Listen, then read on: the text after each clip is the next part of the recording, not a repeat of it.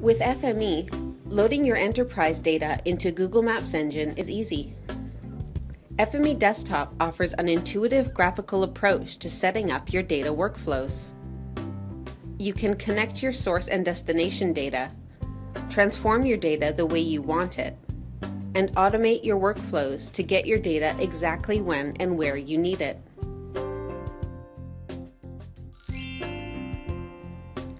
The Edmonton Map Gallery is populated using a set of FME workspaces.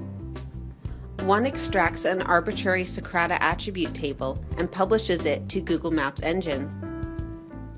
A second does the same for spatial data in Socrata. This third workspace is the one that determines all the data available on a Socrata site, then funnels each table to the appropriate worker.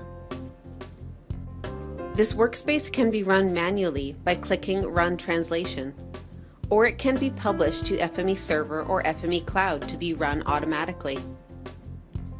The FME translation instantly populates the gallery in Google Maps Engine, taking data to production in a few quick steps. If you'd like to try out FME technology and take your data to Google Maps Engine, head over to safe.com to download your free trial.